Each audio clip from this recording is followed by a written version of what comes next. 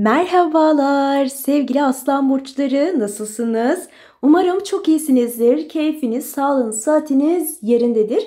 Bugün 12-18 Ağustos haftalık kahve bakımınızı yorumlayacağım. Bütün güneş yükselen ay burcu aslan olanlara aslanlar gibi süper bir hafta diliyorum. Niyetleriniz, dilekleriniz, dualarınız bütünün hayrına kabul olsun diyelim.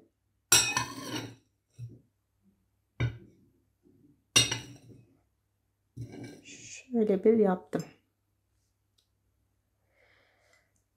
Aman efendim aman efendim bu ne güzellik. Maşallah maşallah maşallah. Nazarım değmesin gerçekten. Bayıldım. Çok güzel görünüyorsunuz. Şimdi arkadaşlar bakın fincanınızı gösterdim. Bakın burada zaten bir aydınlanmanız var farkındaysanız. Bu şöyle şu karşıda bir toplu bir şey olduğu için söylüyorum. Birincisi birilerine karşı haklı çıkarsınız. Herkes durur anne babanız, eşiniz, sevgiliniz sizi tutar. Çocuklarınız karşı tarafı değil sizi tutar. Yani malınız, mülkünüz, paranız, işiniz, gücünüz vardır. Benim param var zaten ben senin parana muhtaç değilim ki. Yani ya da ben zaten bir şeyler yapabiliyorum benim seninle işim yok.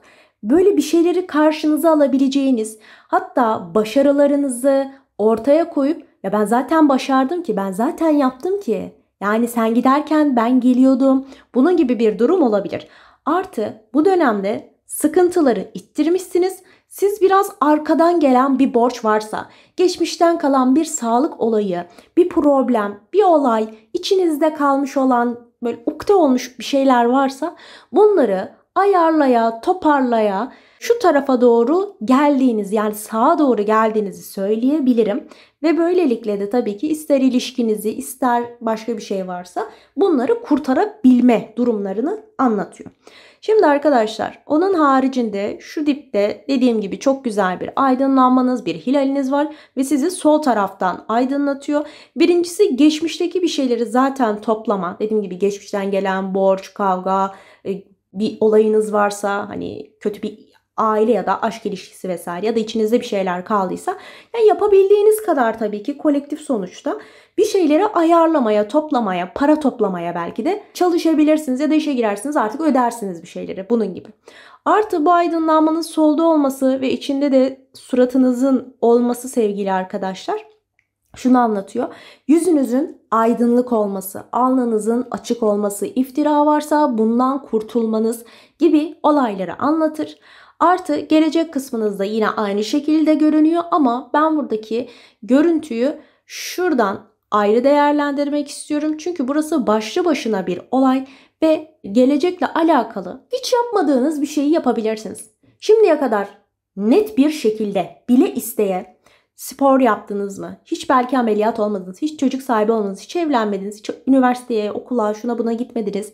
Hiç balayına, tatile, ya da hiç çalışmadınız hiç tam olarak yani bir para kazancı ya da kazanıp da başkasına veriyorsunuz. Şimdi kazandığınızı kendiniz yiyeceksiniz. Yani biraz daha bunun gibi bazı ilkler ilk defa belki bu kadar net bir para birikimi bir şeylere böyle bir sahip olma durumu görünüyor. Şimdi bakın burada iki kişisiniz. Kafanızda bazı düşünceler var. Hatta bir yer ya da bir grupla bir e, müdürlük olabilir, bir şey olabilir, bir şirkettir, devlettir vesaire. Yani böyle biriyle konuşmayı sanki düşünüyorsunuz ya da partnerinizle partnerinizin ailesiyle bir konuşacaksınız. Böyle bir konuşmayı yapmadan önce asıl olaya gelmeden öncesinde başkasıyla ne yapalım ne edelim biraz bunu konuşuyorsunuz. Bu konuştuğunuz sağ tarafta konuştuğunuz şeyi ondan sonra bakın aranızda zaten bir anlaşma sağlanmış. Ondan sonra ayın özellikle 12'si 13'ü gibi gidip artık kime yazacaksanız, kiminle konuşacaksanız ya da nereye bir başvuru yapacaksanız hani sonuçta ya, bir yazı yazıyorsunuz, kendinize ilgili bir bilgi veriyorsunuz. Hani onu daha sonraya saklayabilirsiniz. Yani baştan koşa koşa bir şeyleri yapmak yerine önce oturup düşünüp ondan sonra bir harekete geçme durumunuz olabilir. Artı şurada 4 2 3 nereye gösteriyorum ya? Ya ben kendi gözümde aslında daha net görüyorum ama 4 2 3 ki 3 birkaç yerde var. Artı kuşlarınız çok çok fazla arkadaşlar. Şurada bakın bir T harfiniz var. Yani sizin için ilahi adaletin hem de normal mahkemeniz falan varsa adaletin sağlanmasını anlatıyor ama dörtlü, üçlü, ikili zamanlar hem sıralı çıkmış. Yani bu sıralı çıkması demek özellikle de yani siz bir şeye başladıysanız bunun devamını getirebilmenizi anlatır. Hem de evet dördü, üçü, ikisi gibi hak ettiğiniz bir şeyin sonucunu alma durumlarınız buna istinaden olabilir. Şimdi şöyle bir devam ettiğim zaman burada bir, iki, üç tane yolunuz var. Yani sizi geleceğe doğru taşıyacak olan bir olay görünüyor. Ve siz daha önce bunu konuşmuşsunuz. Bir de ayın 16'sı civarında. Bir daha tekrardan bu konuyu hani emin misin? Gidecek misin? Karar verdin mi? Sonuçların açıklandı mı? Garanti mi bu durum? Yani bakın bir şeyler olmadan hemen önce bir daha bir daha konuştuğunuz bir olay olması kuvvetle muhtemel. Burada da dediğim gibi 3 tane yolunuz var. Bunların içinden bir tanesi bir kağıt olarak da görünüyor diyebilirim. Burada yine karşılıklı bir konuşmanız var. Çok böyle sert görünüyor. Ben özellikle bunu bir aşk ilişki yani anne baba arasındaki ilişki, çocuklarınızla aranızdaki ilişkiniz, arkadaşlık ilişkileri, partnerdir, sevgilidir, aile içi ilişkiler, aynı zamandır görüşmüyoruz akrabalarla hadi görüşelim. Yani bu tarz olabilir ya da dediğim gibi direkt olarak aşkla alakalı. Burada bakın karşılıklı olarak bir konuşup Sonra yolu devam ettirmişsiniz. Yani biraz daha küslükler vesaire azalabilir diyebilirim. Burada bakın aranıza bir insan girmiş görüyor musunuz? Şu insanın burada ne işi var? Bu arayı niye bozuyor değil mi? Bakın elini atmış oradaki akışı. Bakın burada nasıl dümdüz burayı bozmuş.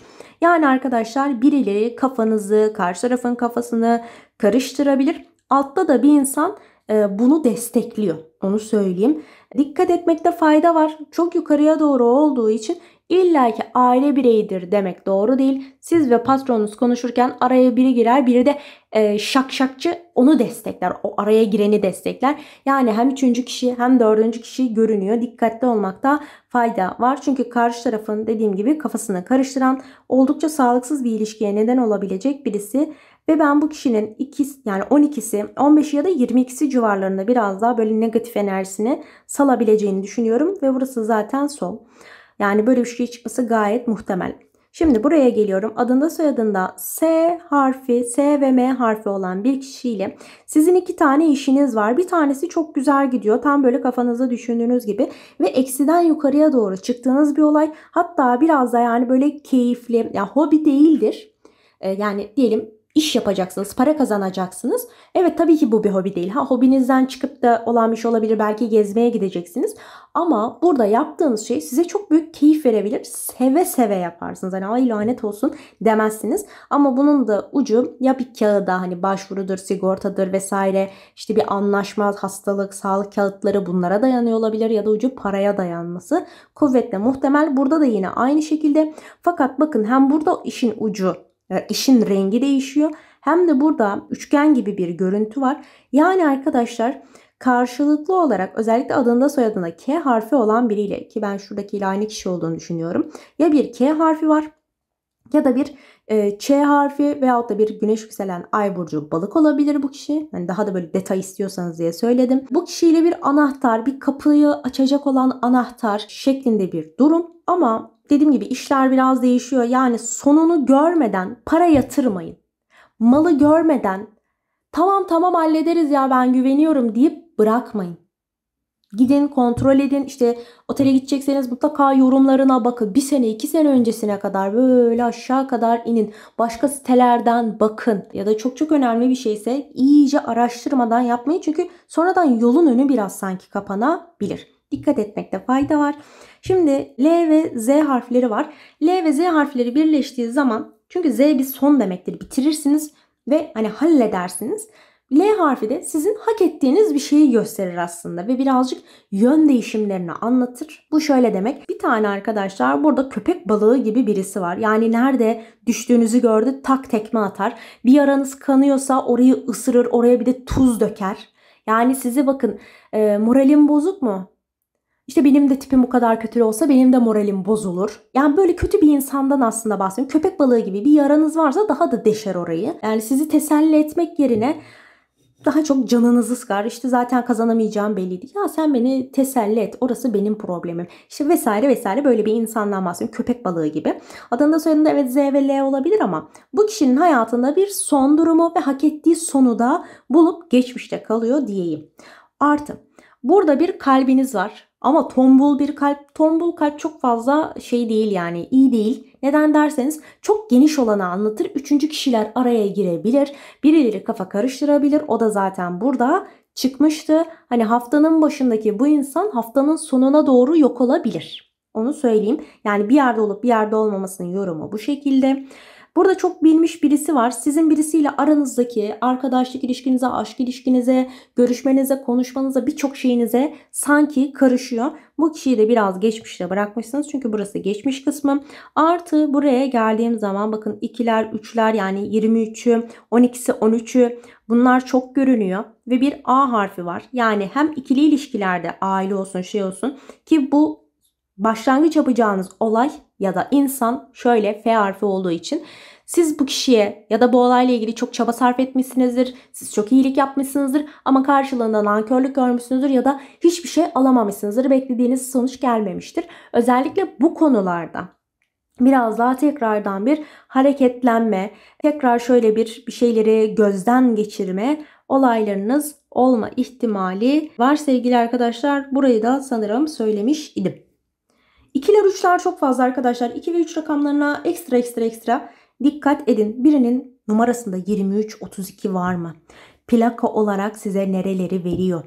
Bu tarih yani ikili, üçlü zaman 12'si 13'ü evet 22'si 23'ü o 20'li tarih değil mi? İşte 30'u vesaire sizin için zaten önemli farkındaysanız ve sizler bu dönemde e, yani doğum günü varsa hani işlerinizden birisinin ikili, üçlü zaman olarak e, o tarihe bir şeyler gelebilir. Belki bir maaş alacaksınız işte 23 bin, 32 bu tarz bir şey olma ihtimali var.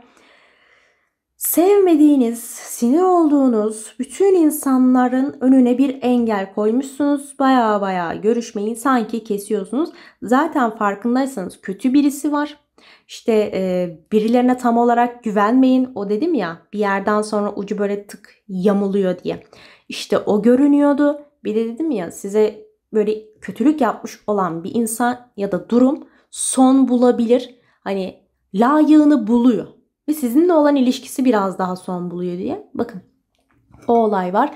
Hane içi sağlık olayları biraz gündemde görünüyor. Kötü olarak görmedim ama dikkat etmekte e, fayda var sevgili arkadaşlar. İki tane güzel niyetiniz görünüyor ama özellikle ikili üçlü zamanlar biraz daha tabii ki bu konuda kendisini öne çıkarıyor. Benim söyleyeceklerim de bu şekilde arkadaşlarım. Eğer hala kanalıma abone değilseniz abone olmayı, beğeni butonuna basıp güzel yorumlar yapmayı unutmayın. Hoşçakalınız. Bay bay.